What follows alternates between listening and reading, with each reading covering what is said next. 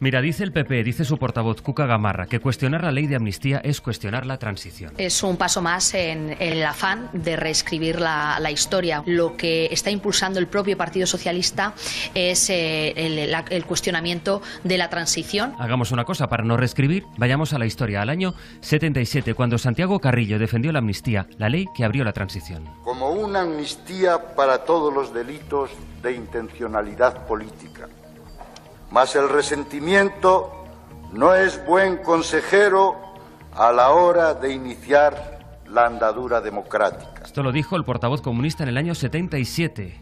También cuando Felipe González, Xavier Arzayus, Jordi Pujol defendieron la amnistía en nombre de sus grupos, porque todos votaron a favor. Bueno, todos no, uno se abstuvo.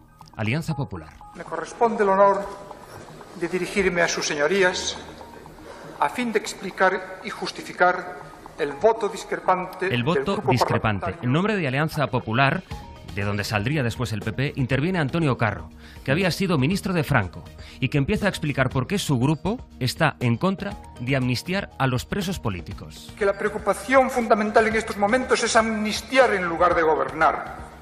Y esto no dudo en calificarlo como la política más peligrosa y más desestabilizadora de cuantas puedan seguirse. Dice el PP que conviene no reescribir la historia, porque efectivamente la historia ya está escrita y hay frases de Carro del año 77 que no parecen tan lejanas. El desorden público está campando por sus respetos.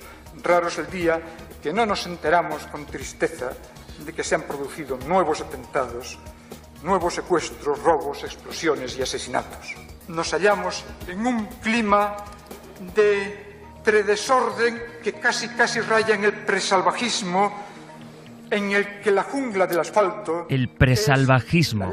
Por esas razones, Alianza Popular se negaba a aquella amnistía, se abstuvo en la votación, aquel consenso que ahora reivindica el PP. Antonio Carro, el último ministro de la presidencia que tuvo Franco, remataba así su intervención. Que las cárceles se pueden vaciar. Las cárceles se pueden asaltar y se pueden tomar, como ocurrió con la Bastilla el 14 de julio, pero recordad también que esa fecha se ha convertido en la fiesta nacional francesa como desencadenante de la revolución que guillotinó al rey Luis XVI. Así es como dejó al Congreso, murmurando. Aquello fue lo que ocurrió en el Congreso de los Diputados el día, para que no se reescriba la historia, 14 de octubre del 77.